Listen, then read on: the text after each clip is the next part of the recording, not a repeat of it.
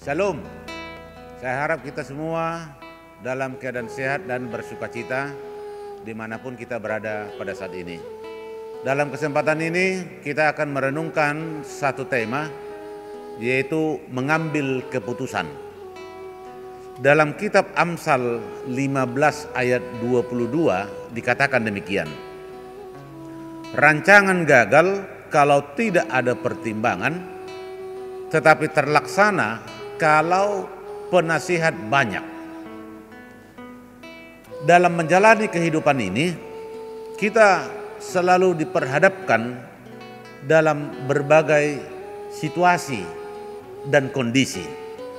Dan dalam kondisi tersebut, kita harus membuat keputusan.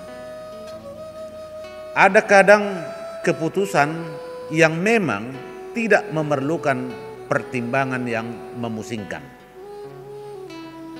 Namun ada juga keputusan itu berdampak besar dalam kehidupan kita.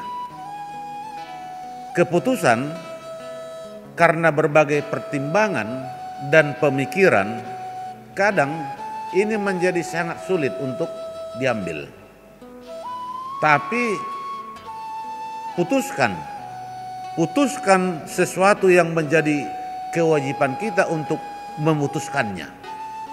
Jangan sampai orang lain yang memutuskannya untuk kita. Risiko pasti ada selalu dalam setiap keputusan yang kita ambil. Tapi keberanian untuk mengambil resiko ini yang membuat seseorang itu dia lebih unggul dari yang lain.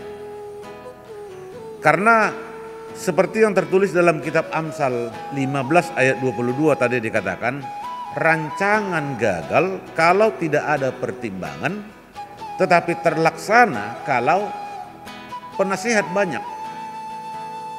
Kadang kita butuh, kita butuh nasihat dari orang-orang untuk mengambil sebuah keputusan. Tapi sebelum menentukan keputusan, berdoalah terlebih dahulu. Berdoalah dan selaraskan keputusan yang mau kita ambil agar sesuai dengan firman Tuhan. Hendaknya senantiasa melibatkan Tuhan dalam setiap keputusan yang kita ambil agar kehendak dan pikiran Tuhan yang sempurna yang terjadi di dalam setiap keputusan yang kita ambil dalam hidup kita. Kita bisa belajar dari setiap keputusan yang kita ambil. Dan kita bisa belajar apabila keputusan itu berhasil termasuk apabila keputusan itu gagal. Dari pengalaman tersebut kita akan semakin menjadi bijak dalam membuat suatu keputusan dalam hidup kita. Ada seorang motivator pernah dia mengatakan ada tiga hal yang menentukan nasib dan kehidupan kita. Yang pertama, keputusan kita untuk mengarahkan fokus akan pikiran kita. Ada fokus dia.